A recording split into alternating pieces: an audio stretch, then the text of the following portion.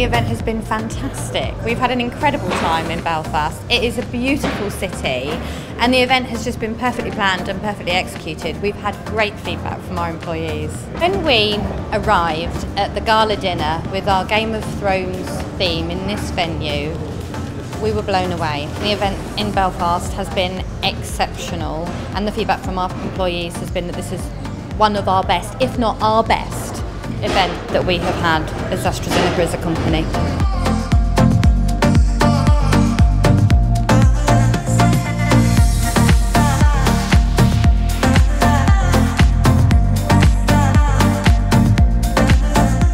AstraZeneca, sustainability is really, really important to us and we've taken a lot of steps together with Belfast and the organisers here to make sure that we are doing everything in a sustainable way.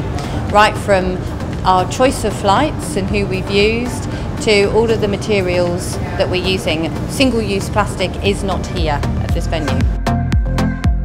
I think in terms of helping hands, it's been an incredible team build event. It doesn't compare to any other team build we've ever been part of. It's exceptional.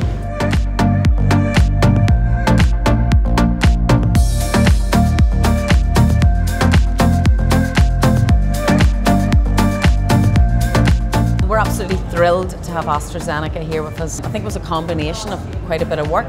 The initial inquiry actually came on the back of us winning the C&IT Award in 2018 for Best Venue.